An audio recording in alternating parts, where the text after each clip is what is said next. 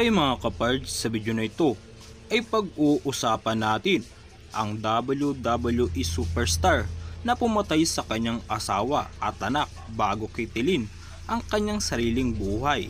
Pero kung bago ka lang sa akin channel ay pindutin mo na ang subscribe at ang bell para lagi kang updated sa aking mga ina-upload na video. Tara, simulan na natin to. Anak ni na Michael at Margaret Benot na si Christopher Michael Benot ay ipinanganak noong May 21, 1967.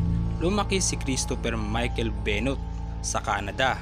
Lumaki siya sa lugar ng Edmonton, probinsya ng Canada at naging interesado sa professional wrestling sa kanyang murang edad. Ang mga idolo niya na wrestler ay si Bret Hart at Dynamite Kid sa pagnanais na maging isang wrestler ay dumalo siya sa isang wrestling show sa kanyang pagbibinata. Sa sobrang hangad na makamit ang kanyang pangarap na maging isang professional wrestling ay pumunta siya para matrain ng sikat na legendary wrestler na si Bret Hart. Hindi niya inaasahan na matutupad ang kanyang pangarap na maging isang wrestler. Nagsanay siya sa isang sikat na wrestler na si Stu Hart ang ama ng kanyang idolo na si Bret Hart. Ang kanyang unang experience sa Hart din yun ay nakita kaagad ng kanyang trainer ang kanyang mga wrestling style na galaw. Nagsimula ang kanyang professional na karera sa wrestling sa ilalim ng kanyang trainer na si Stu Hart noong 1985. Ginugol niya ang mga taon ng kanyang pag-wrestling sa pakikipagtunggali sa Canada at Estados Unidos at pati na rin sa Japan upang makakuha siya ng atraksyon sa iba gamit ang kanyang sarili na kakayahan. Pagkatapos ng pag-wrestling ng 10 taon, ay sumali si Chris Benoit sa World Championship Wrestling noong kalagitnaan ng 1990s. Mabilis naman nakaakit sa mga matataas na tao si Chris Benoit at binigyan din siya ng proyekto na mas makikilala pa siya ng mga tao. Nagtrabaho si Chris Benoit sa WCW o tinatawag na World Championship Wrestling.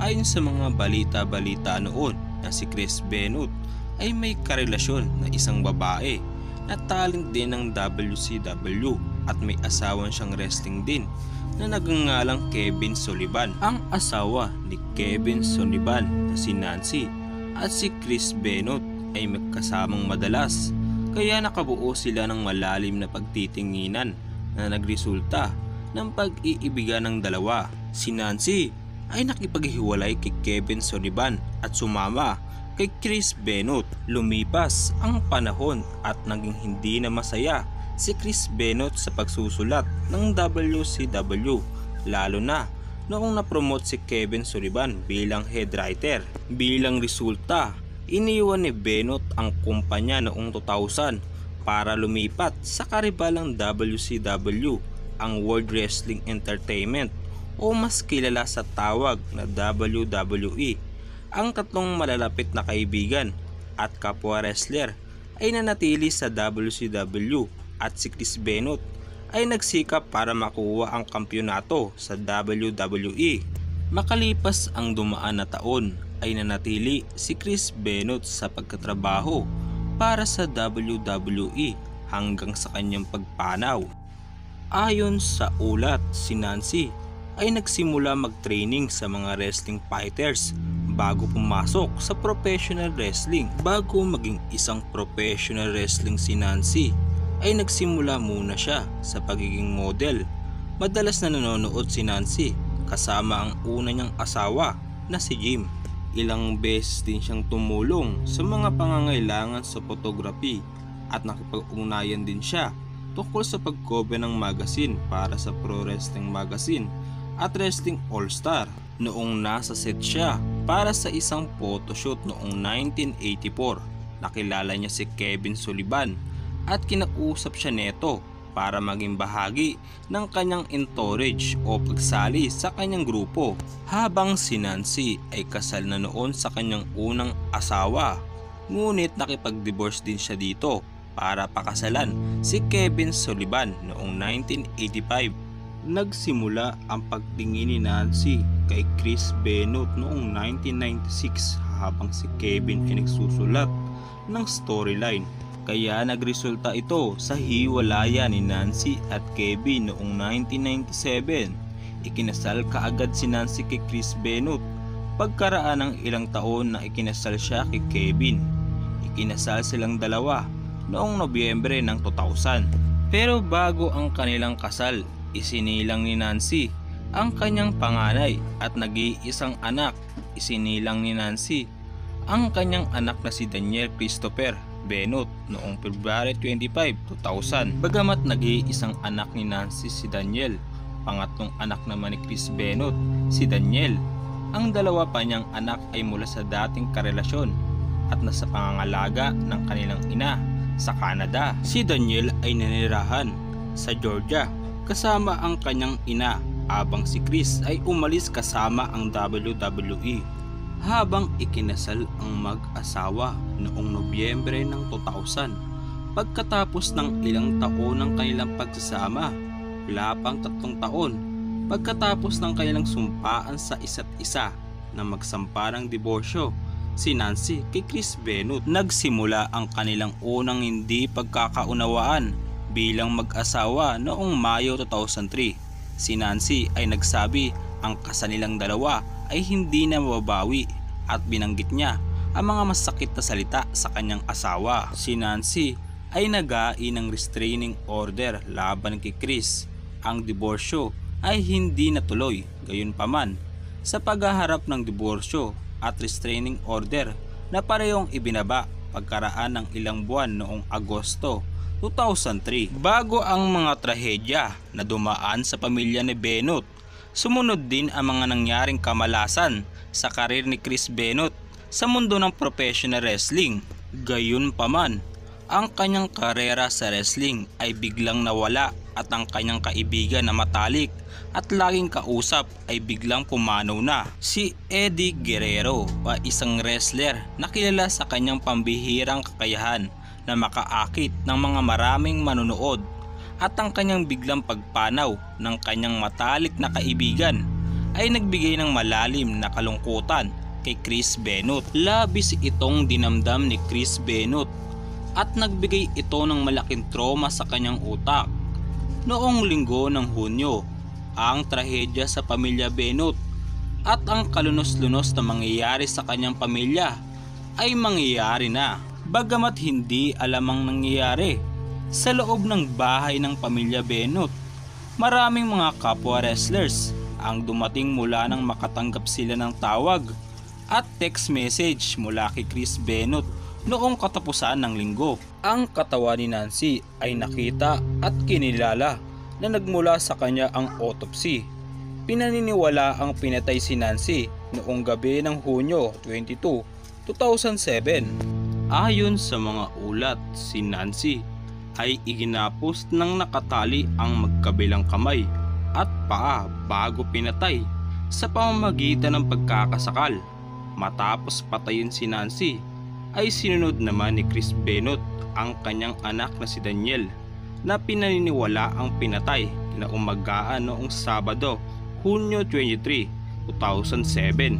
Mula sa mga ulat ng toxicology, lumabas na binigyan si Daniel ng Xanax na gamot bago siya hiniga ng kanyang ama sa kanyang kama. Matapos gumawa ng krimen si Chris Benot, ay bigla siya humingi ng kapatawaran sa kanyang mag-ina at inilagay niya ang Biblia sa tabi ng mga katawan ng kanyang pinatay. Ang sinunod na ginawang hakbang ni Chris Benot ay nag-iwan siya ng voicemail para kay Chavo Guerrero Jr. ang pamangkin ng kanyang namatay na matalik na kaibigan. Binanggit ni Chris Benot sa voicemail ang tungkol sa pagkakalason sa pagkain ni Nancy, Daniel at kung paano mag-reschedule ng transportasyon sa flight. Napansin ni Guerrero na mukhang pagod si Chris at sinubukan ulit niya na tawagan ngunit hindi nagtagal ang kanilang pag-uusap. Ngunit kinuha naman niya ang binigay na voicemail ni Chris Benut. Nang tawagan siya ni Chris Benut, napansin niya na pagod pa rin si Chris at nagtaka siya kung bakit napagod ito sa halip na gagawa sana silang dalawa ng halamanan ni Chris Benot ay baka sunduin niya na lang ito ng kinaumagahan sa airport ng Houston bandang 4 a.m. noong linggo. Humigit kumulang sa kalahating araw pagkatapos makausap ni Chris si Guerrero. Nagpadala ng mga text si Chris sa limang magkakaibang tao. Ginamit ni Chris ang kanyang sariling telepono at ang telepono ni Nancy ay ginamit din para imensahe sa iba't ibang mga tao. Dalawa sa mga nakatanggap ng mensahe sa kanila ay si Guerrero mismo at isang referee na galing sa WWE. Nagising si Guerrero sa mga text ngunit hindi niya ito binasa dahil naniniwala siyang makikita niya si Chris sa sunod na mga ilang oras. Gayunpaman, hindi nakasakay si Chris papuntang Houston. Madaling araw ng linggo ng Hunyo 24, nakipag-ugnayan si Chris Benoit sa talent ng WWE para sabihin sa kanila na nasa hospital siya kasama ang kanyang asawa at anak at sinabing nagsusuka daw ang kanyang anak. Naglaan si Chris ng unting minuto para mag-google research ng dalawang sagot sa kanyang katanungan. Ang sinerch ni Chris ay ang Bible verse tungkol sa pagkabuhay ng anak ng isang tao. Pagkatapos niya mag-research, pumunta siya sa kanyang bahay para mag-game. Tinali ni Chris ang lubid sa marble at nagbuhat siya ng sobrang mabigat na bagay sa game. Pagkatapos ay ginawa niya naman ay itinali niya sa kanyang leeg ang lubid at tinali niya din sa mabigat na bagay at sinadya niya ito na ibinagsak. Matapos bumagsak ang mabigat na bagay, kalunos-lunos ang nangyari sa kanya dahil nabali ang kanyang leeg na naging sanhi ng kanyang pagkamatay. Si Guerrero ay nagpakita ng text sa mga opisyal na natanggap niya noong nakaraang umaga kay Chris at tumawag ang mga kapulisan sa pamilya ni Chris Benoit sa Georgia. Nakipag-ugnayan ang mga kapulisan sa mga WWE official mga bandang 4.15pm upang ipaalam sa kanila na natuklasan nila ang tatlong bangkay. Hanggang ngayon, ang mga kaibigan ni Chris Benoit ay nagsalita kung gaano kabuti at mapagmahal na ama si Chris sa kanyang pamilya. Ang WWE ay nagbigay pugay sa nawalang wrestler superstar. Bagamat maraming pwedeng dahilan kung bakit niya ginawa ang krimen sa kanyang pamilya. Pero ang isa sa mga pinakapwedeng teorya dito ay ang kanyang mentalidad sa pag-iisip. Kaya niya nagawa ito sa kanyang pamilya. Ayon sa mga sumuri sa katawan ni Chris, napag-alaman nila na may trauma sa utak si Chris na hindi agad naagapan. Kaya siguro nagawa niya ang kalunos-lunos na pagpatay sa kanyang asawa at anak. Ang kondisyon ni Chris Bennett sa utak ay tinatawag na CTE o Traumatic Encephalopathy. Ang mga sintomas ng CTE ay ang pagiging makalimutin, mga pagbabago sa personalidad at pag-uugali kabilang ang depresyon, pag-iisip ng pagpapakamatay at pananakit. Mapasang hanggang ngayon, hindi na mabubura ang iniwang alaala ni Chris Benoit sa WWE dahil nakatatak na ito sa kanilang kasaysayan. At dyan ko na tatapusin ng ating video. Anong masasabi mo sa ating kwento ngayon? Mag-comment lang sa ibaba at ating babasahin.